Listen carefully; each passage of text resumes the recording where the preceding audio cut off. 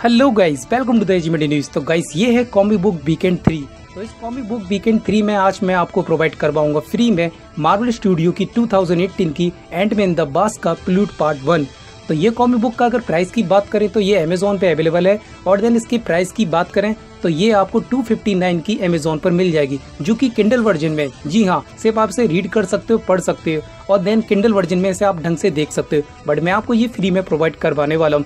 अगर इसकी स्टोरी की बात करी जाए तो एंट मैन द बास के प्लूट पार्ट वन की जो स्टोरी है, वो एंट मैन की पहले पार्ट की स्टोरी है। जी हाँ आपको उसमें फुल स्टोरी मिलेगी एंट मैन की, जिसमें कि आपको पता चलेगा कि एंट मैन का ऑरिजिन क्या है एंट मैन कैसे मिला, उसे सूट कैसे मिला। बट ये सब आप मूवी में देख चुके हो बट कॉमिक में पढ़ने का अपना अलग ही मज़ा है। तो आप इसे डाउनलोड करिए, मज़ा लीजिए इस रात का और देने कॉमिक बुक रीडर बनिए। तो डाउनलोड करिए और आपको इसका सॉफ्टवेयर का लिंक और एंड्रॉयड लिंक नीचे मिल जाएगा। Thank you for watching bye bye